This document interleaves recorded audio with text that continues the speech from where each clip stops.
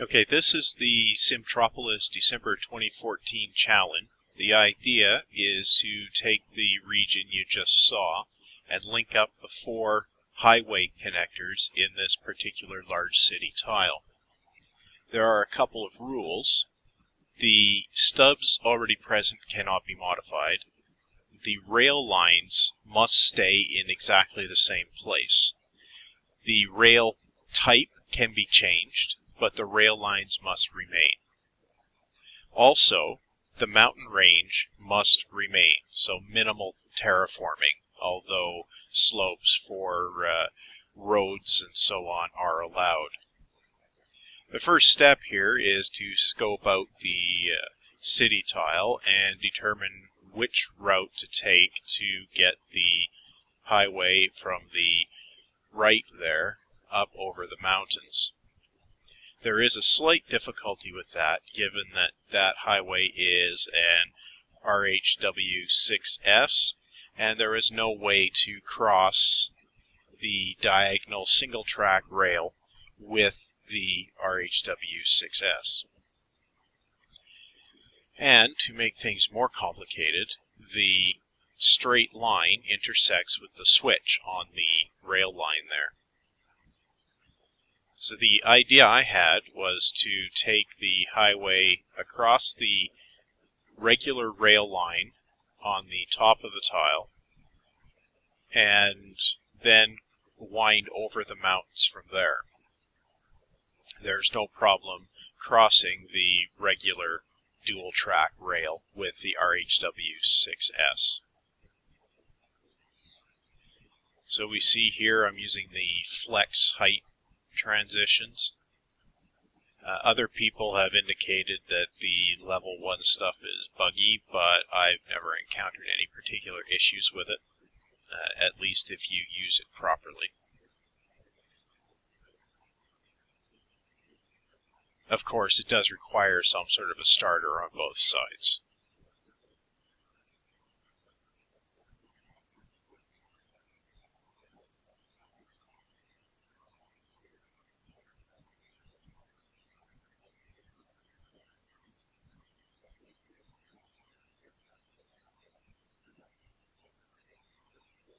And there you see the typical click around until it overrides properly gimmick. You'll see that quite a lot over the course of this particular construction project.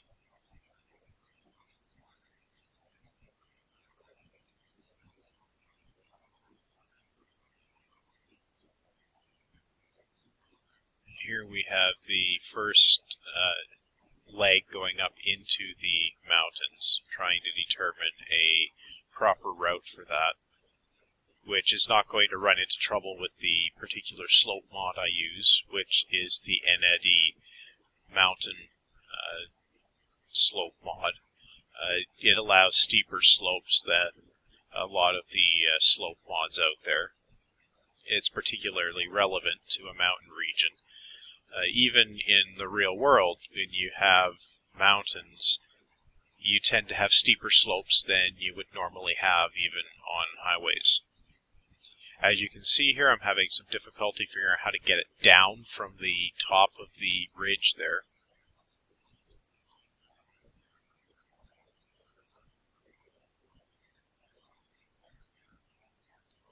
And there we have a solution that creates quite an embankment there. And you see there's the rail line down there in its own trench. Uh, that looks like it will be problematic as well.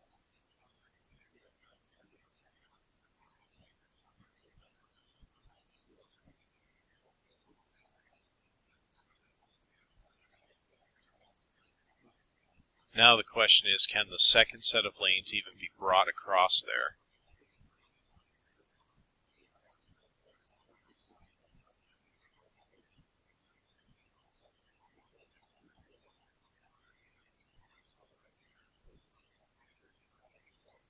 As it happens, they can be brought that far.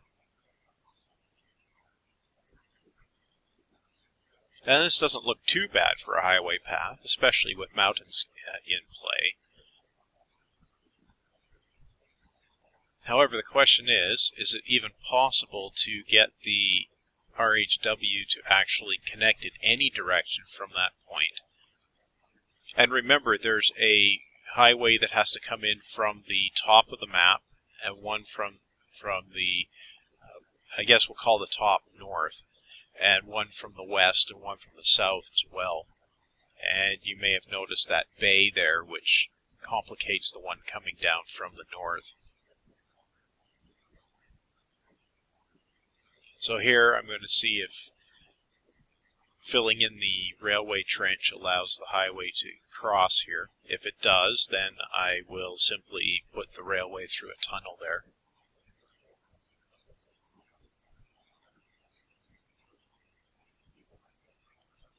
And we see that the slope just doesn't quite work out.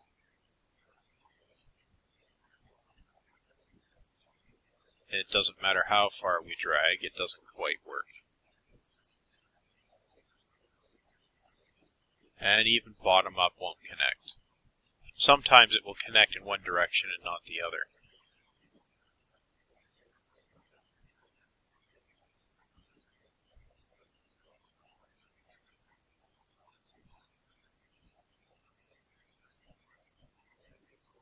Of course, you need to be careful to use the proper uh, tool roads, while they will connect with the RHW stuff and look very similar, are not not the same, and they won't connect as expected with the non-RHW2.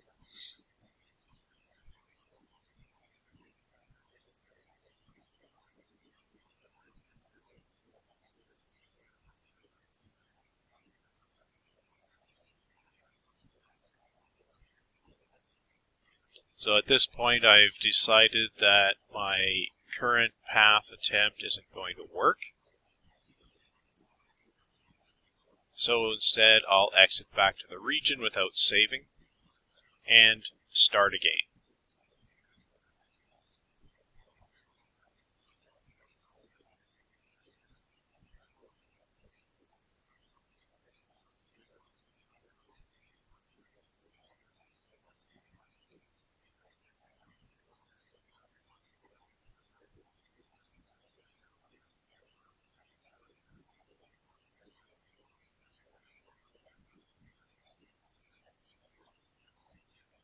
This time, I'm going to take a slightly different tactic here. Instead of taking the highway over the rail line, I'm going to reverse it and take the rail line over the highway. And because I think it looks better, I'm going to do this using the smooth curves uh, as opposed to the rather sharp 45 degree bends that the highways will come up with by default. Given that there's enough space here to fit two 45 degree bends back to back, it seems like a proper thing to do.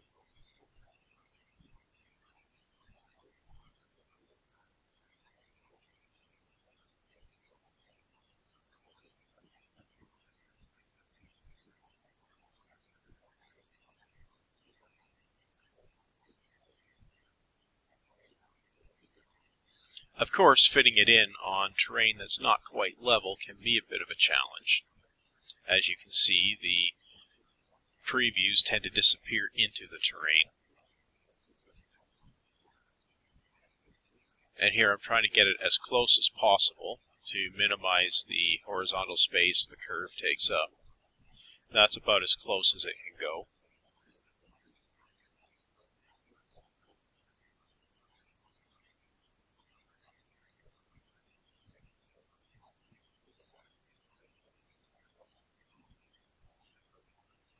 I'm also trying to get both directions of the highway as close together as possible at this point, since going over the mountains I need to have as narrow a profile as possible.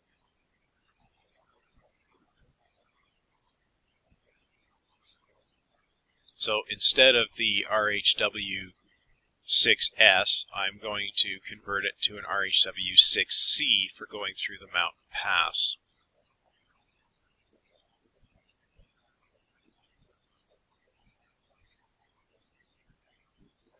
Of course, the question then becomes why don't I convert it before the rail line instead of having to deal with the complications here?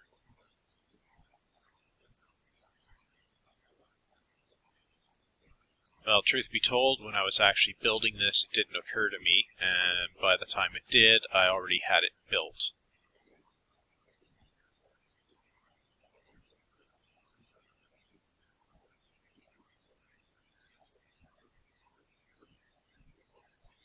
And again, we have a slope problem there, just preventing it from lining up.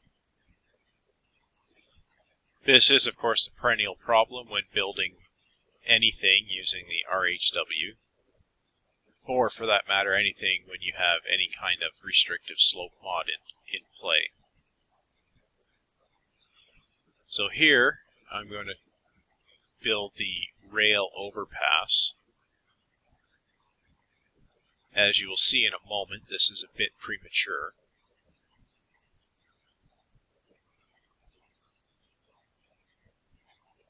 mostly I'm doing this for a reference point for the rest of the work I need to do in the immediate area.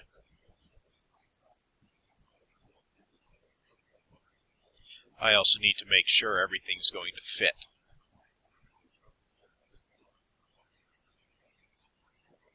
Now, of course, these uh, height transitions for the rail are a little bit steep uh, as far as the scale of the uh, system goes.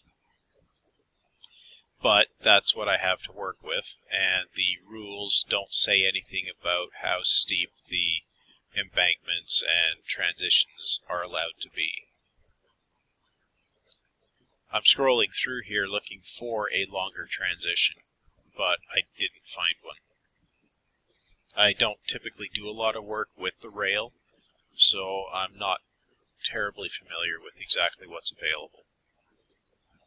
As you can see, it fits nicely in the tile. Now here's where it becomes premature. There's no way to connect it up if it wasn't already connected when you put the overhead pieces in.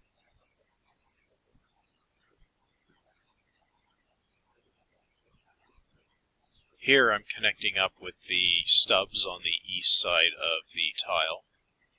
And apparently my mouse skills leave something to be desired. I'm also going to fix the overpass while I'm doing this.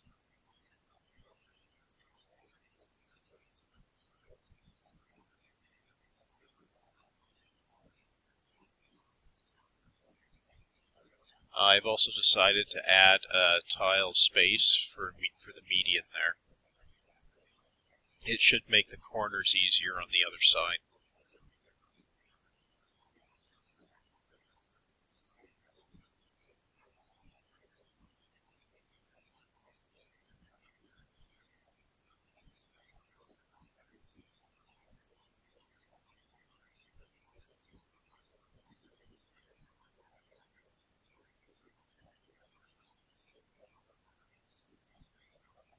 And now we reconstruct the overpass.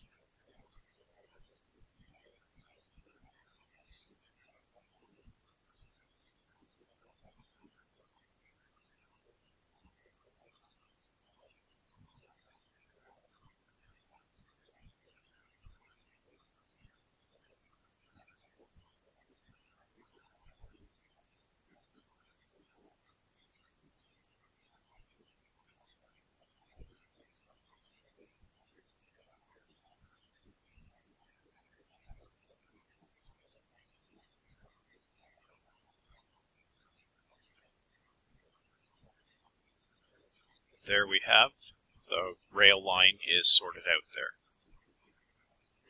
Now I've been examining the area, just looking at exactly what path I'm going to take to get over the mountains, since the path last time didn't work.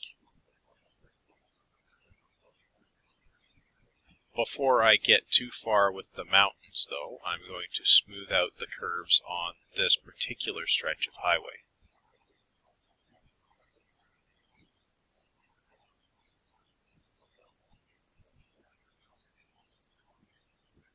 And of course, you need to make sure that you match up the lines properly.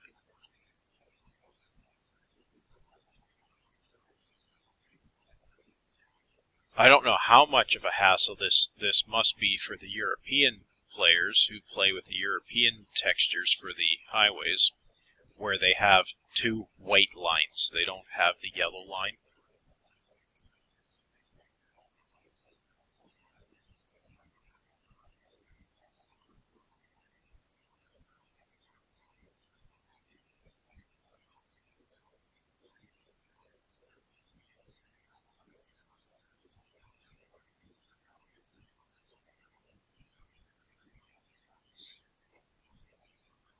As you can see, this process gets fairly tedious when dealing with the curves. And it looks like I'll have to replace that one I just put in there with that extra bit hanging out there.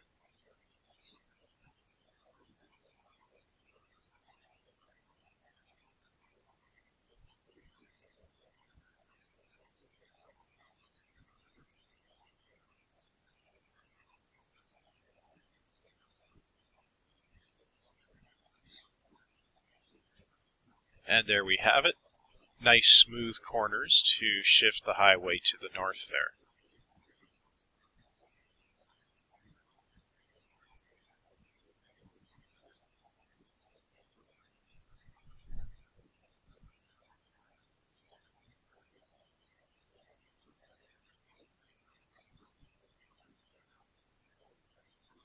Note the save there it's always a good idea to save your work when you get something significant completed. While it's not likely the game will crash at any point uh, during this particular part of the process, since there's very little in the tile, it's also possible that I will screw something up, and it's always nice to be able to go back and just restore back to a known state. Now here I need to put in a 90 degree bend to go up the mountain.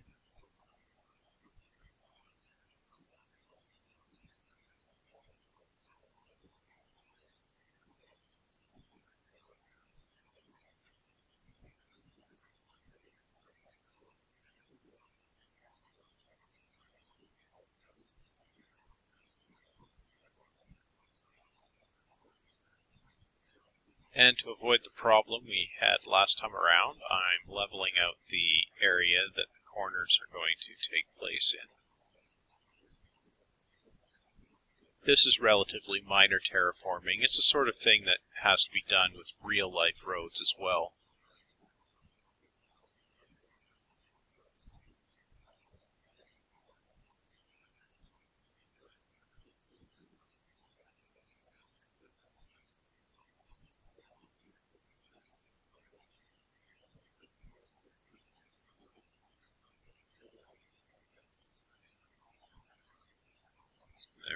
There we There's the 90 degrees in one direction.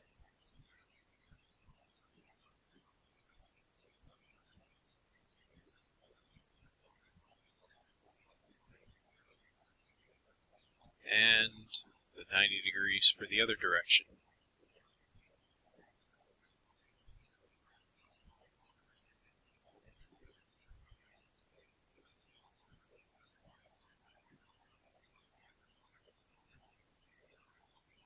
Little more leveling is required for the transition to the RHW6C. The difference between the two is that the 6S is a single tile for each direction for the width, but it overhangs. The 6C is combined into three tiles, but none of it overhangs the tiles it occupies.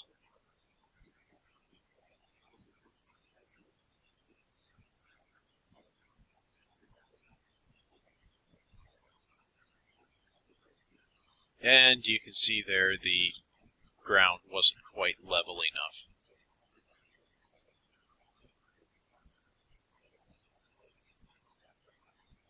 Which, fortunately, is easy enough to sort out.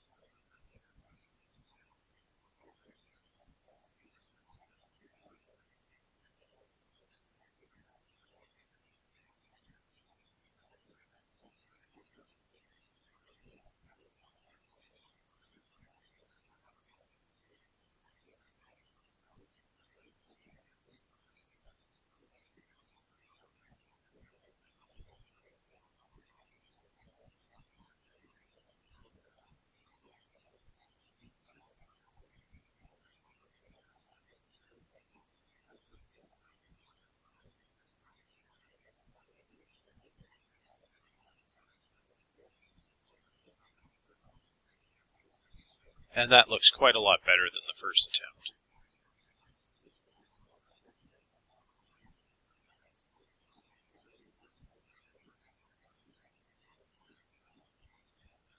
Now it's just a matter of cleaning up the incorrect road surfaces. This is unavoidable in certain configurations.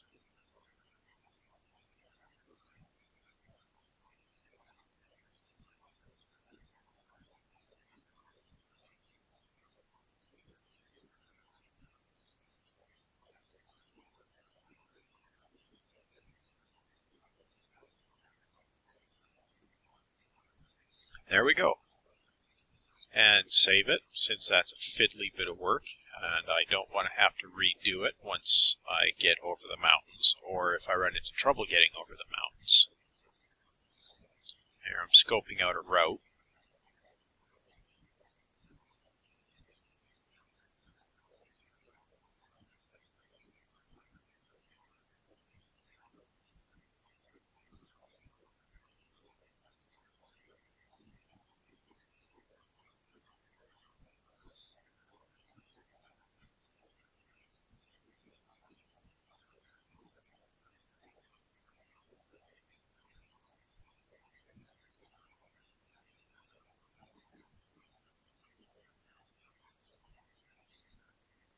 This actually turns out to be easier than it first looked.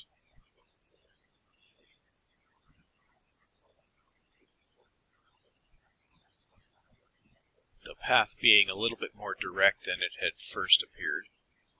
Handily enough, since the rail line goes through a tunnel, it's a simple matter of simply going over the mountains where the rail line goes through the tunnel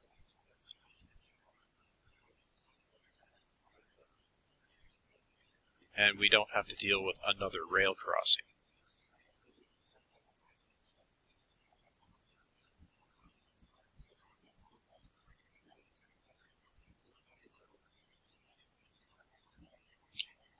A little bit of work leveling the ground is necessary, however, due to the bend in the road.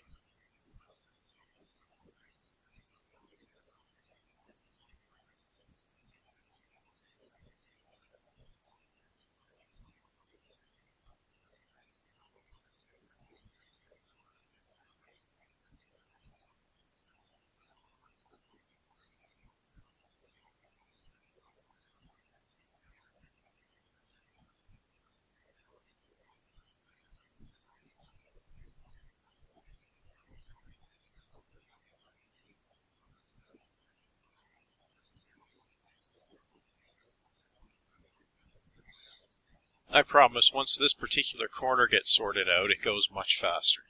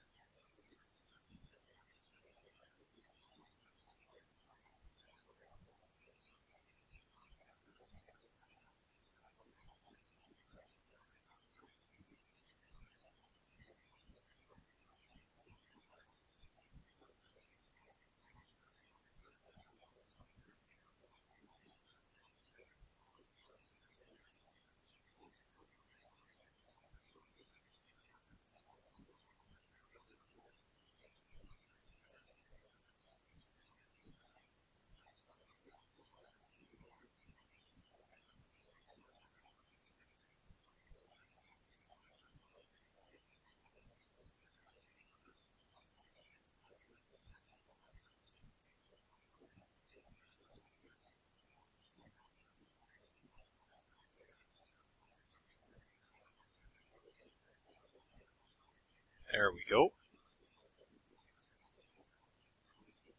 Now it's a matter of getting back down to the plain.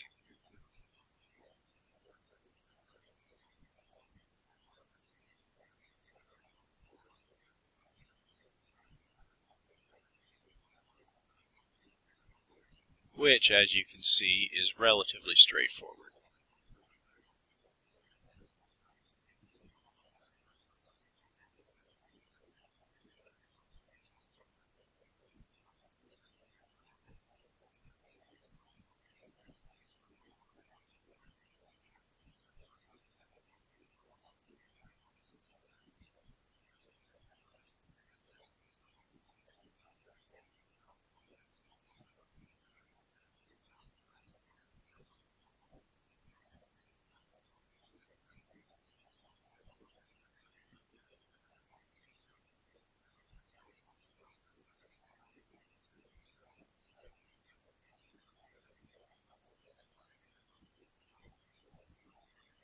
The idea here is that the RHW8 coming in from the west will connect up with the RHW6 that we just brought over the mountains.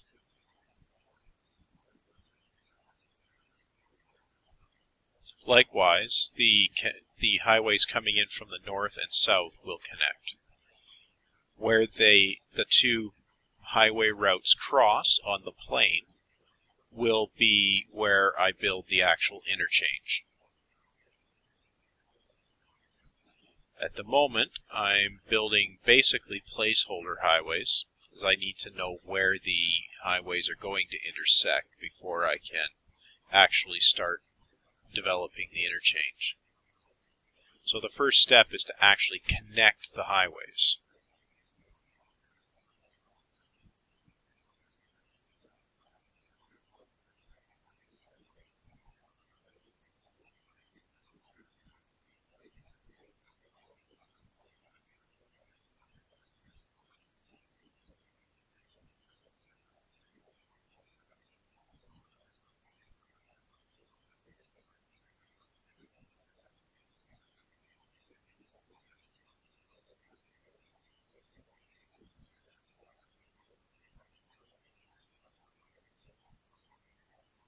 The reason for not taking the RHW8 significantly diagonally is because it's quite unpleasant to build interchanges with diagonal RHWs.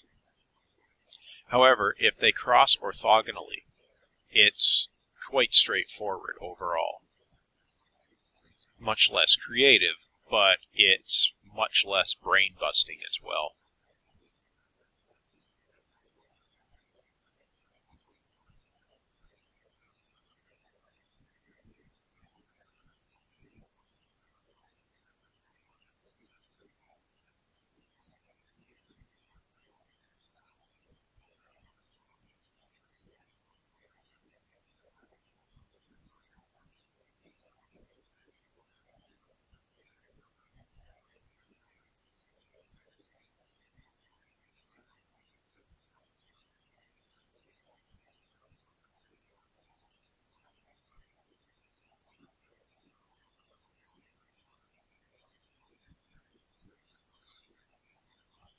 Here I was toying with the idea of splitting off a ramp from each direction here and connecting that up to the highway going off on the north.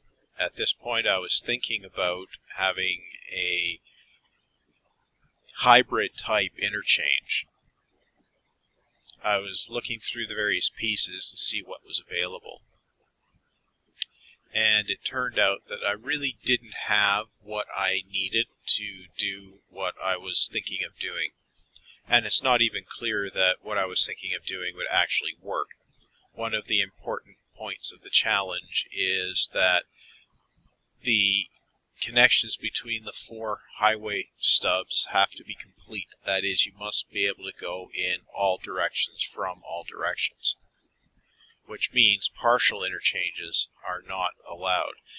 However, the challenge did, did specifically state that anything within the tile would do as long as the rail line stayed put, the mountain stayed put, and the highways on the edges stayed put. And of course, it was possible to connect everywhere. Of course, the spirit of the challenge would suggest that it's much more in keeping with the spirit to maintain the highways basically unbroken across. Now, I'm not personally going to enter the challenge. I'm doing this just for the challenge. I looked at the challenge and thought, hey, I can do this. I have no illusion that I'm doing it better than anyone else. Uh, there's other people that have uh, done videos of, of their work on it. Hal Jackie, for one, has done one where instead of coming across the north like I did, he wound his highway across the southern mountain with a quite spectacular switchback process making its way down to the ground level. And then he built a very tight interchange over where the southern highway comes in. You see here a piece that converts the RHW8 to uh, an RHW6 with a ramp coming off on both sides. That seemed like a useful piece at this point, but eventually I decided it really wasn't.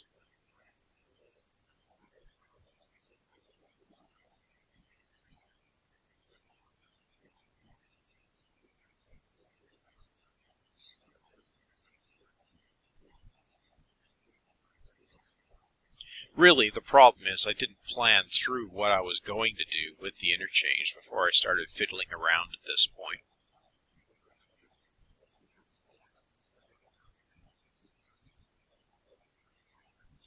I also neglected to take into account the proximity of the bay and just what would need to happen to get everything to connect up as required.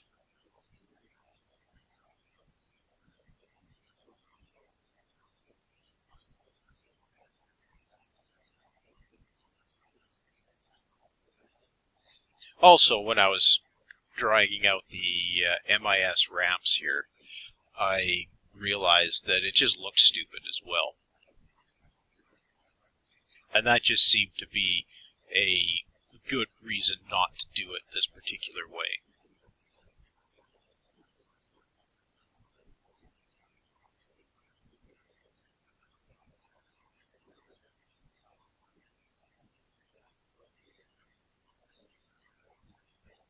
Also, with the slope here, it looked like it would be problematic to get the MIS over the RHW6C there.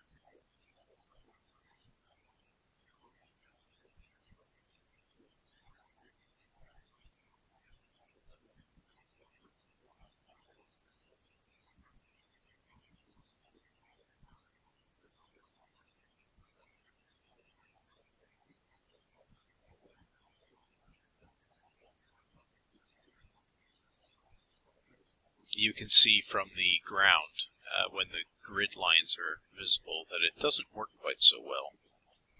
And you can also see that it doesn't want to go over there particularly well.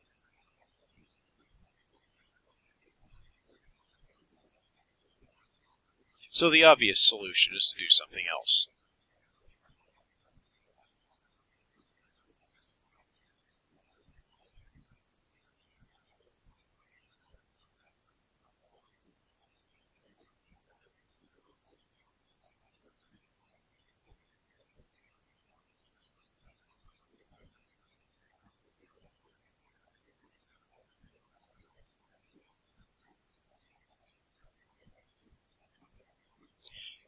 So at this point, I decided to bring in the RHW4 from the north.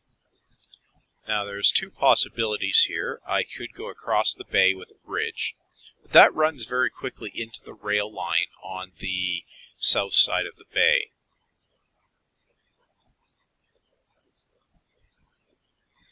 That left the option of going around the bay, and as you can see, we very quickly run into the rail line there as well. Now, in this case, elevating the rail is quite problematic because of the slope it's on, and also because the bridge would have to be reconstructed as well. There isn't enough space to transition back down to a ground level rail between where the highway has to cross and where the bridge begins. So in this case, the highway has to go over the rail. Now I'm leaving a gap in the median here because of the slope. I want to minimize the impact on the rail line and by having the one tile median there it allows the two roads to be on slightly different heights.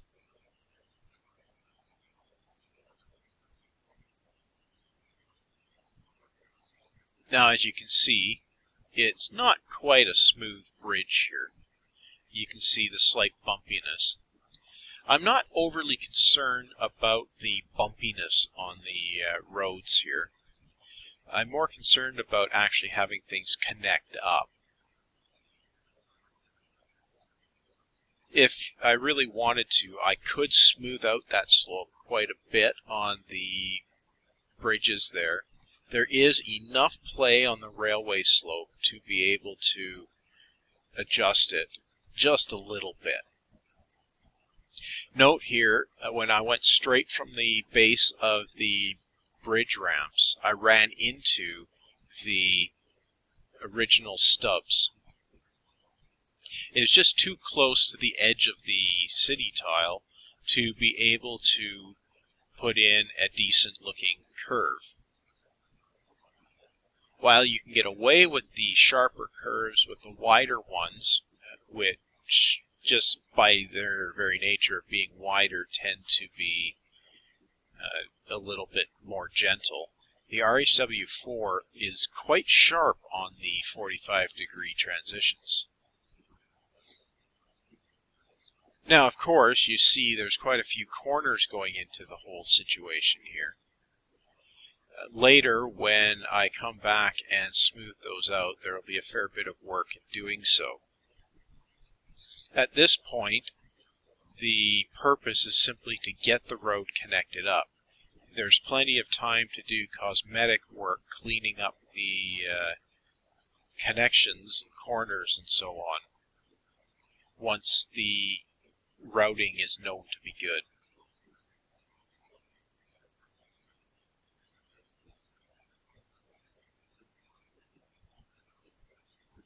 As you can see, by the time we get around the bay, it's quite close to the road coming over the pass. There's not enough room right at the mountain slope to build a proper interchange. So I arranged for the two highways to cross closer to the middle of the flats.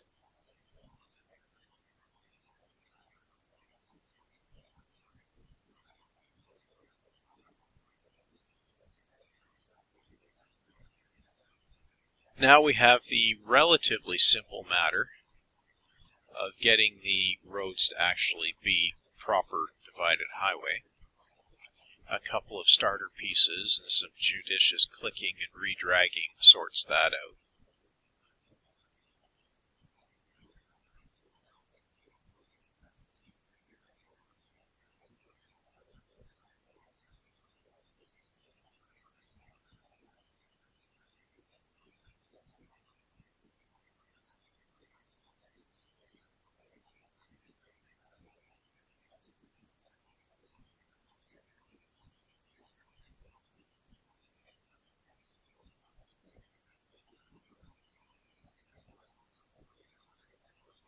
As you can see, with that many sharp 45 bends there, the road looks quite unpleasant.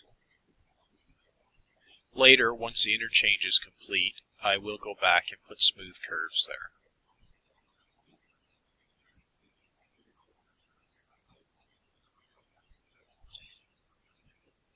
And now, to connect up the southern highway connection, you will note that this comes very quickly into the mountain slopes. So I need to bend immediately to avoid climbing up into the mountain.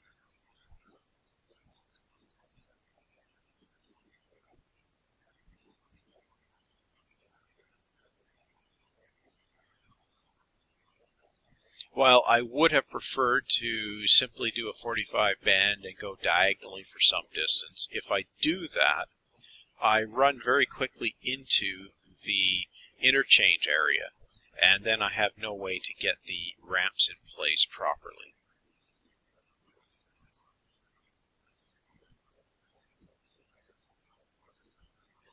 So now I need to get the highways to link up. Initially, I'm just going to do it with a fairly sharp 90 degree junction on the south side of the tile.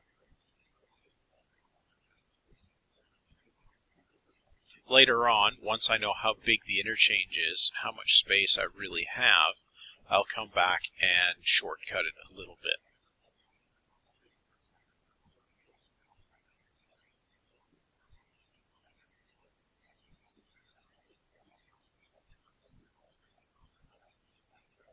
However, I'll put the curves in here anyway. At this point, I wasn't sure that I would need to come back, so I put the curves in. Of course, getting the diagonal edges to line up in the right direction is not quite as obvious as it would seem.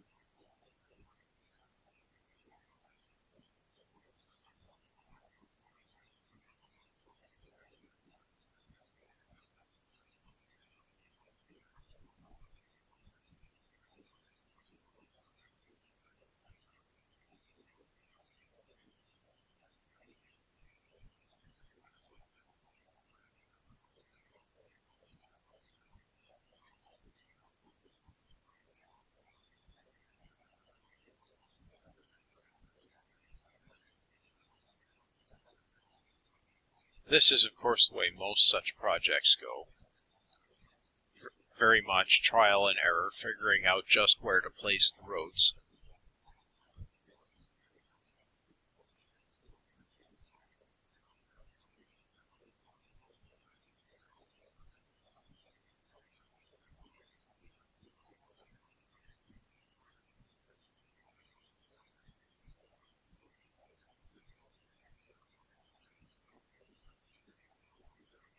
And you can see the general layout of the road pattern.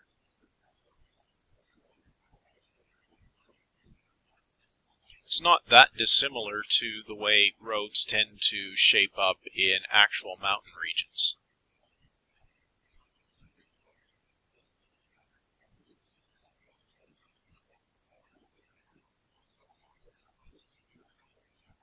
Now we connect everything up so that the RHWs have the right format.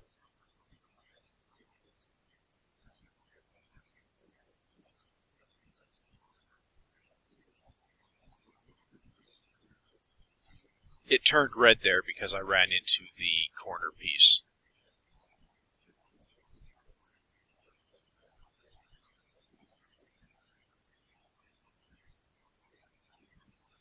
I decided to take the RHW4 over top of the RHW8, which is why I rebuilt the connection there. And again, I'm still not certain that I'm going to be removing these corners with a shortcut. So before I forget, I'm filling in the uh, bit in the middle with proper RHW fillers.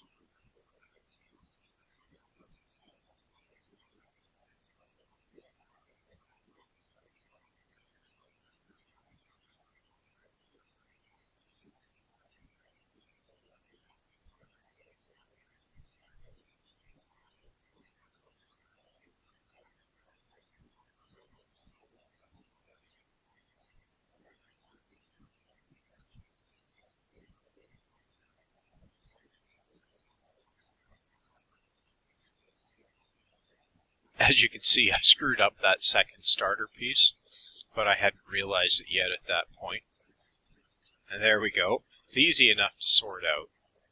Just have to make sure that it uh, de-overrides so you don't end up with the starter and the old direction fighting it out for which one wins.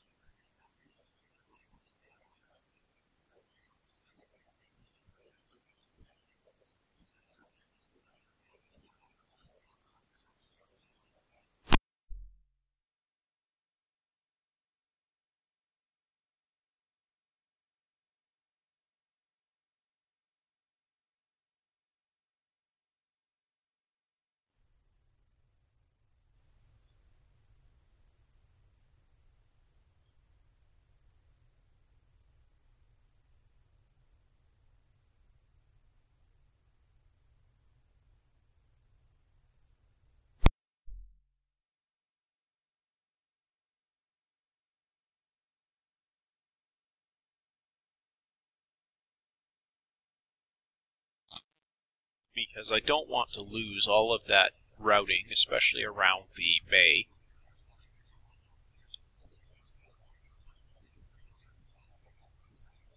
And now it's time to actually build the interchange.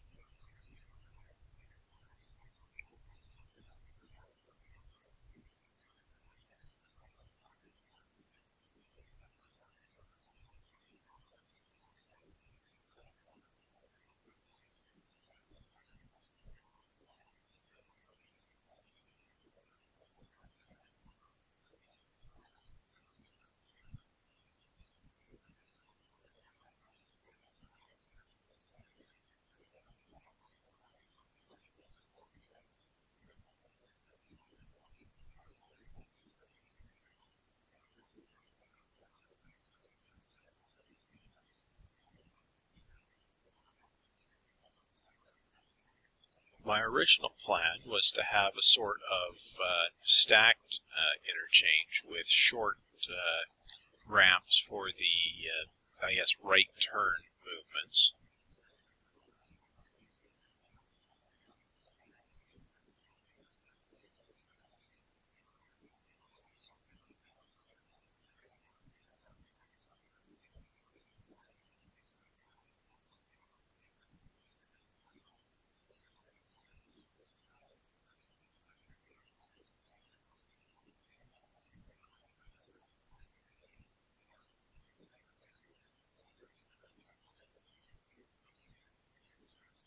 Of course, that looks quite nice, but it only covers half of the movements that are necessary.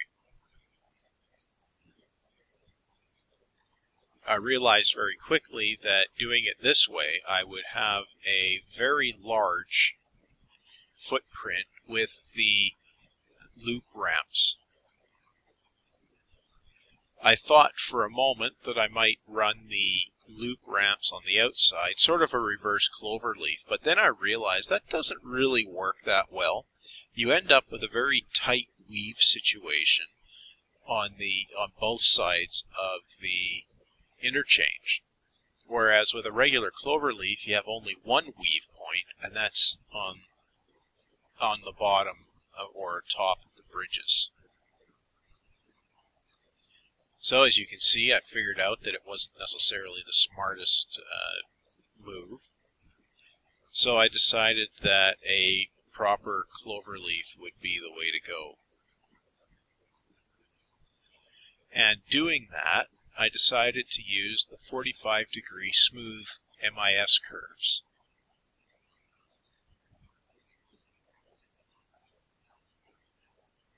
Of course, doing that is slightly uh, less than uh, obvious if you haven't done it much, which I haven't. Here I was just looking at the various curves and I decided that the 90 degree curve was just a little bit too sharp since it would have to be reached with a pair of 45s from the ramps.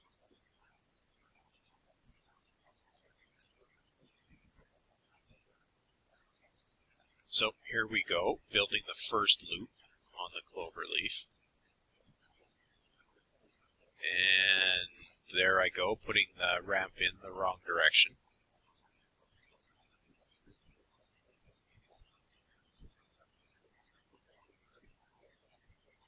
We'll try that again with the ramp going in the right direction.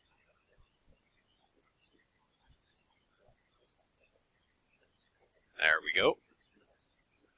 And we complete complete uh, another 45.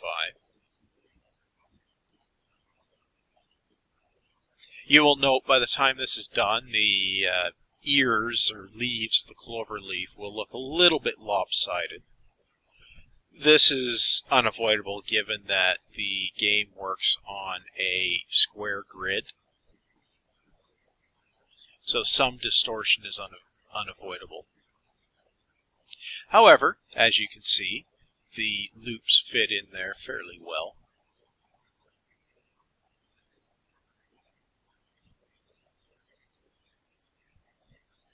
and then the non-loop ramps are easy enough.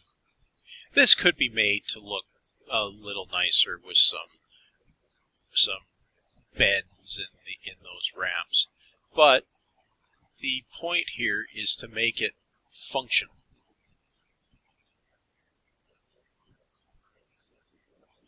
If I was actually entering the competition, I would put more effort into making it look really pretty. The point of this is just to demonstrate that it's relatively straightforward to complete the actual challenge. Now that I've sized one leaf on the clover leaf, it's easy enough for me to put in the four right turn ramps. And then I can use those to inform the placement of the other leaves.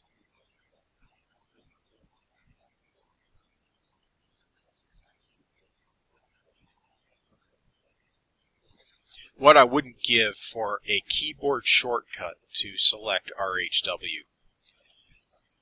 As you can see, there's much trial and error when placing draggable ramps. There's also much trial and error for non-draggable ramps. The idea here is I want the cloverleaf to be symmetrical. For functional purposes, it doesn't matter if it's exactly symmetrical. However, it just looks nicer. And as you can see, I screwed up again.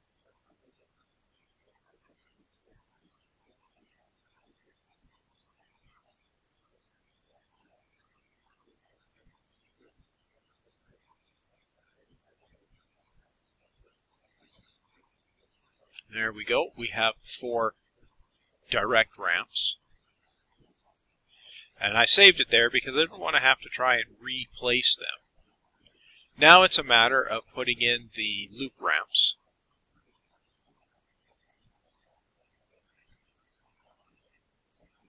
First I have to remove the extraneous ones I put in earlier.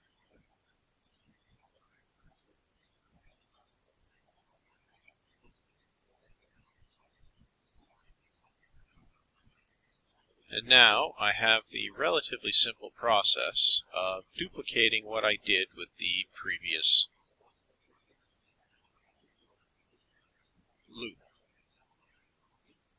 Now, as you'll see, when I do finish building this new loop, it's going to end up being slightly tighter than the first one.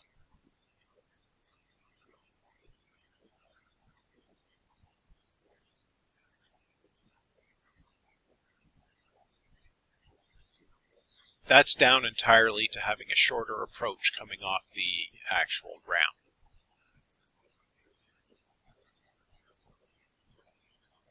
It happened accidentally, but you'll see that once I get everything all lined up properly,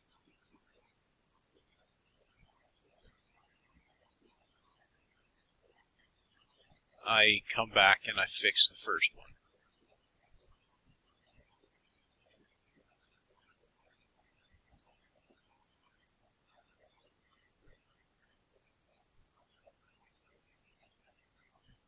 And there you go. It's just that easy. Of course, if I used an earthen embankment instead of the uh, concrete uh, bridge approach things, it would be a little more difficult because I would be dealing with the slopes on the uh, curves. And the smooth curves don't really like the slope thing all that much. Once you get much off level, a lot of these pieces uh, tend to do weird things to the slope. And sometimes you'll get what's known as the hole to China, where for whatever reason, it decides it needs to dig a hole all the way to height level zero. It's clearly a bug somewhere in the game because that shouldn't even be doable, but it happens. As a result, it's generally safer to build complicated highway interchanges with level ground.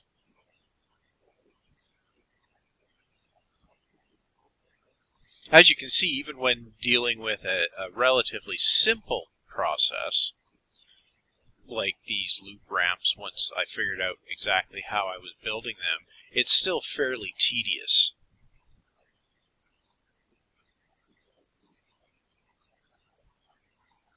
And there we go. You can see that this one's wider, so here I go in, I'm fixing it you notice how annoying it is to bulldoze something on an angle without taking apart something else.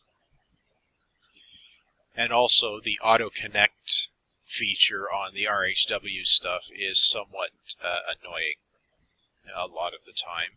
Uh, sometimes it's that auto connect feature that makes particular configurations impossible to build. And I'm using this technique here to make sure that I line up the loops the same size. Once the first 45 is placed, it's easy to keep everything consistent, but it's hard to eyeball otherwise. So, and here we go, we have the uh, loops completed, and that gives us a fully functional four-way cloverleaf. Now it's just a matter of fixing up those little interface points where the curves come together on the diagonals.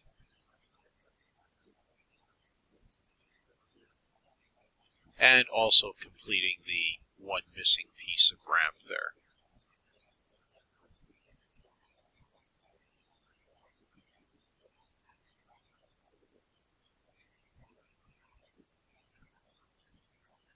And there you go. It's just that easy. We have a clover leaf.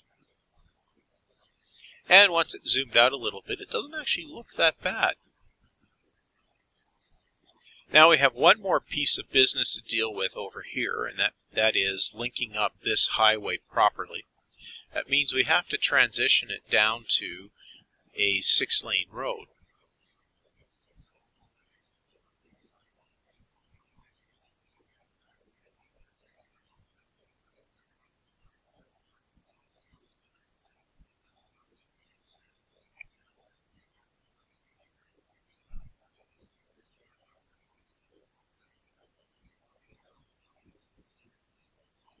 Well, those clearly don't line up. Of course, functionality-wise, it works just fine.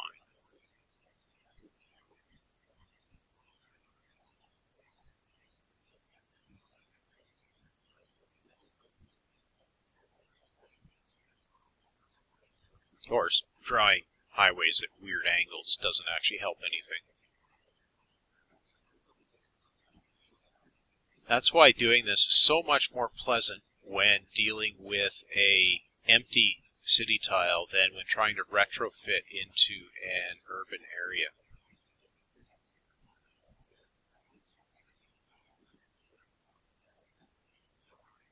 Of course, it's important to make sure the transition here from 6S to 6C lines up properly. There's nothing more frustrating than getting everything lined up just nicely and finding out you're off by one tile. And there you have it. It's a fully functional highway system, albeit slightly less than pretty at several of the corner points. However, because it is completely functional, I saved the game. Now, the final bit is some tidying up with the corners on the highway coming around the bay and shortcutting the angle coming up uh, from the south now that the extent of the interchange is known. And here I'm going to start with the southern shortcut.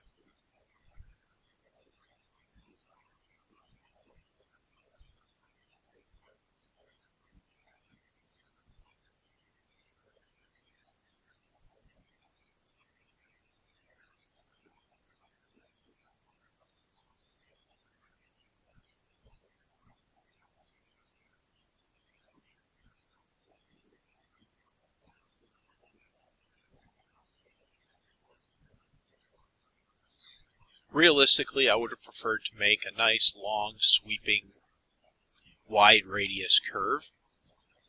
However, that's not available in the SimCity capabilities. So instead, it's a pair of 45 degree smooth curves. I could mess about with the fractional angle RHW stuff, but since I'm not going to be entering the actual competition with this, I didn't feel that it was worth taking all of that time necessary to do that. And instead, I opted for the basic pretty of the 45 degree smooth curves.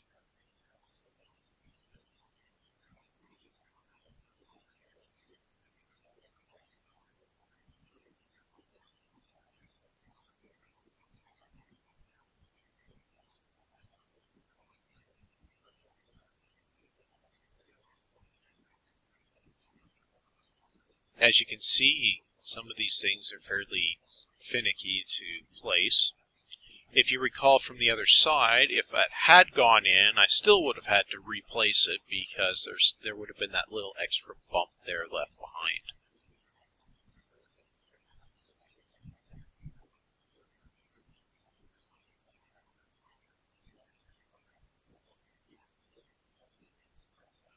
And this is the point where you start going, really? Why won't it go in? But when in doubt, demolish stuff further back, and hopefully it goes. And there it goes.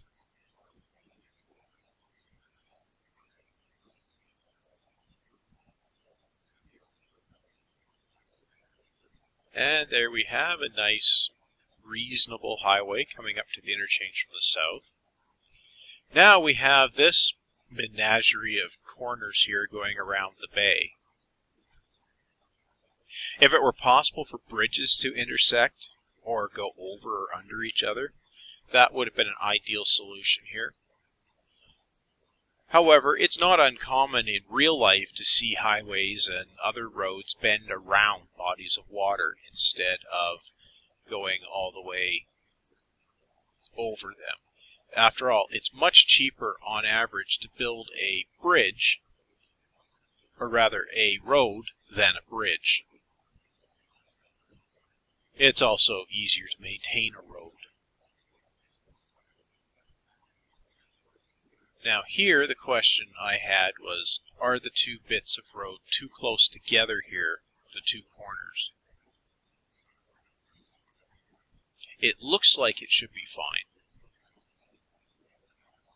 Of course, there's plenty of room to adjust everything if it turns out to be too close together.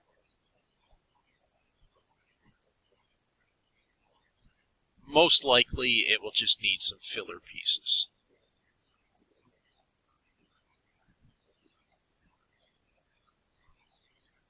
Of course, it could just be finicky and I need to demolish some stuff before it will actually go in.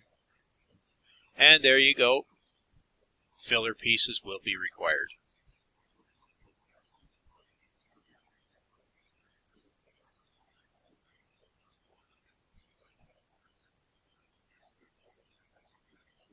For those of you that are still with me after over an hour at this project, uh, thanks for watching. I do apologize for the potentially awful quality of the audio. I don't have lots of money to have a nice recording studio to do these voiceovers. In fact, I'm using a relatively simple, cheap headset, and I use Audacity to process the audio and try to remove as much of the background noise as possible. There you see, it looks much nicer approaching the rail bridge now that the smooth corners are in place.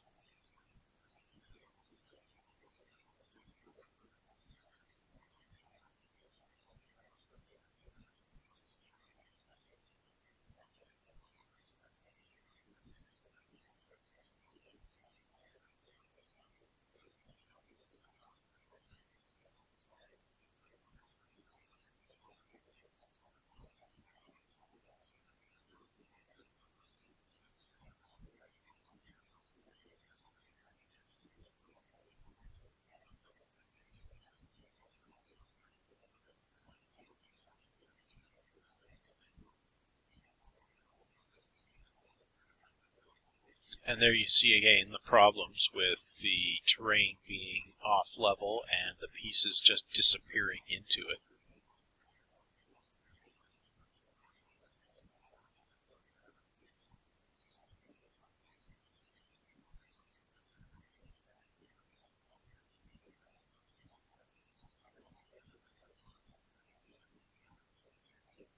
And this is one of those points where you start going, really? Why won't it go?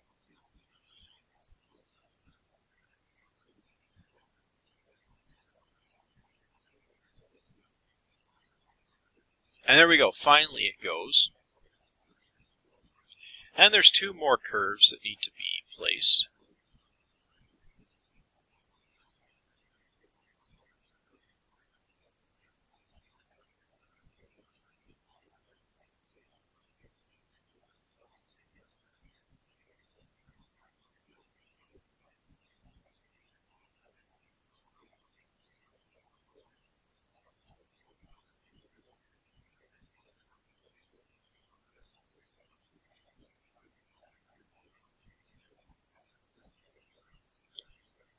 For those of you wondering why I've kept the game paused for this entire thing instead of letting it run, it's not uh, so much an issue of running out of money or anything like that.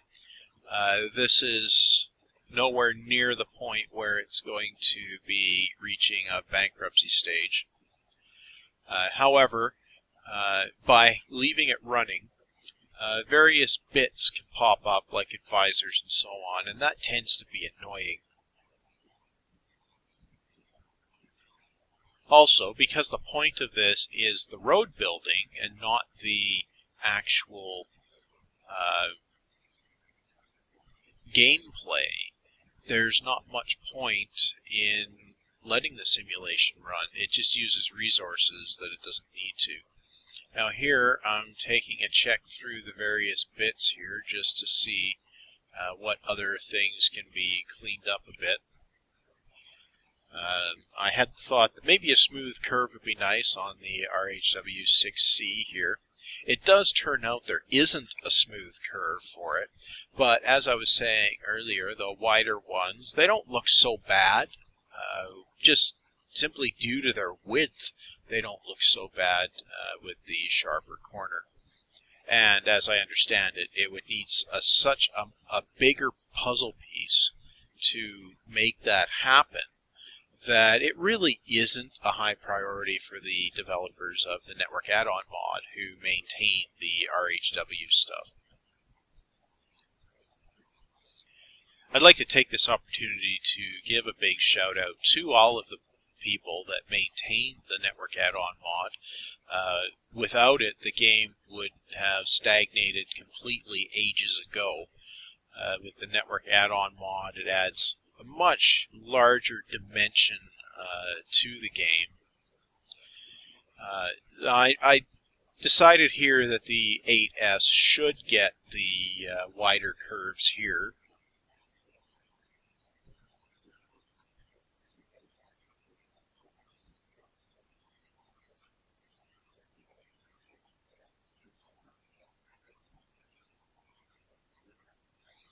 Um, however, instead of bringing the 8S around, I decided to end the extra lanes uh, closer to the interchange. and then it's a matter of putting the curves in on the 6S.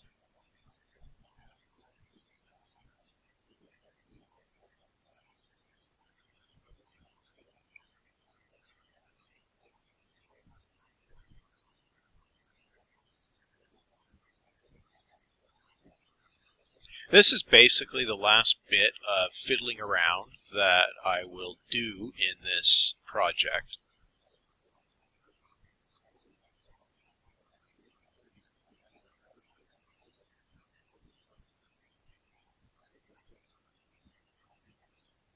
and it looks like I'm going to have to go a little further out from the transition piece there uh, just to fit in the uh, curve.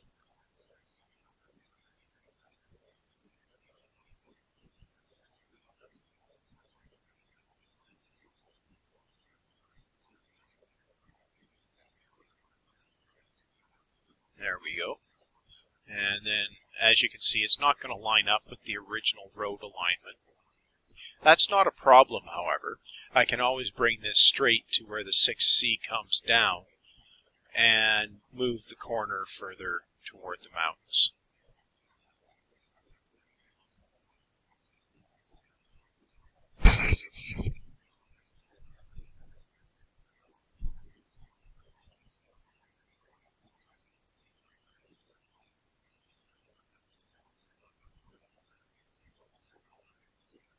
And there we go, just like on the other side of the mountains, we have our 90 degree corner here.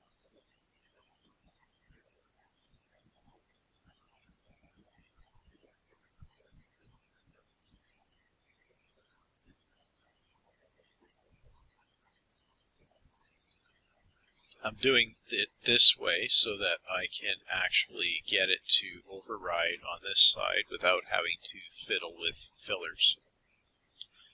And at this point, I also hadn't fully decided what I was going to do with the road coming around the corner.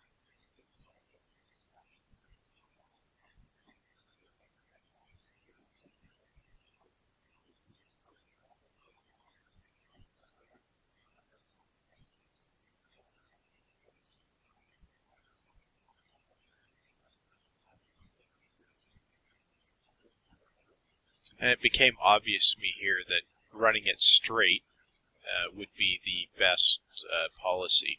But first, I'll convert it back down to a 6C.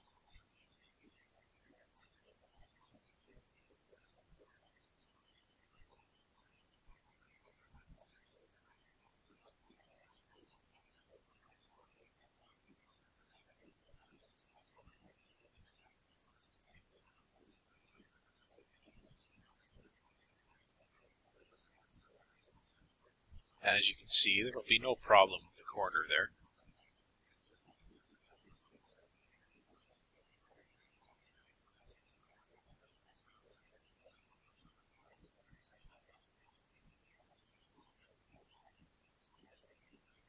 There we go.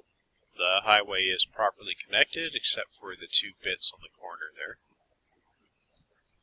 That's easily solved with a filler piece.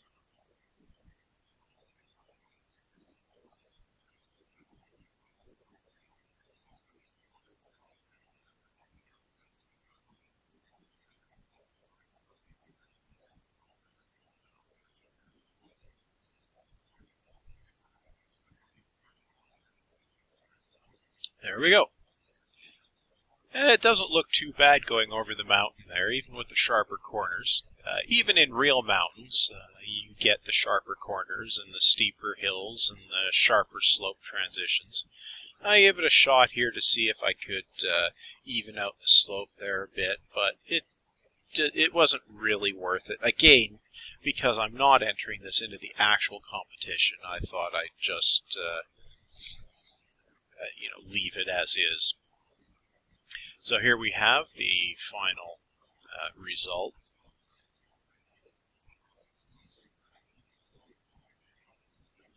You can see it all here.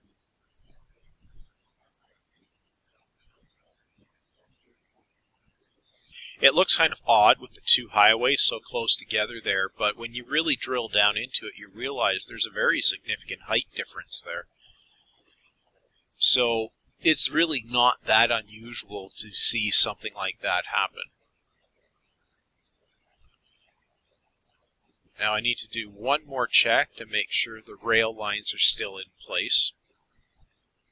Otherwise I will not have succeeded at the challenge.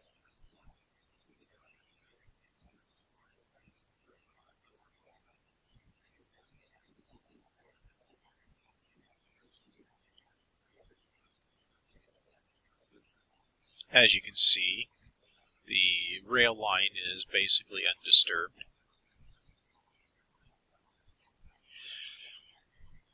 Well, folks, that concludes the construction project here.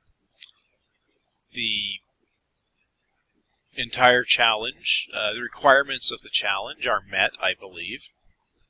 The interchange is a complete full, full way, uh, or a complete cloverleaf, and all four highways connect up to it.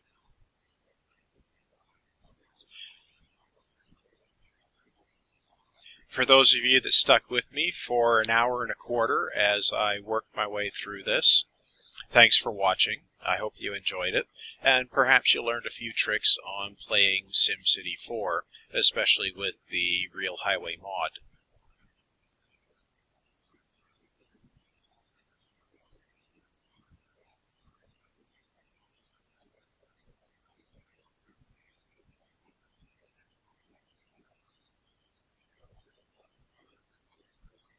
And there's the region with the highways in place now.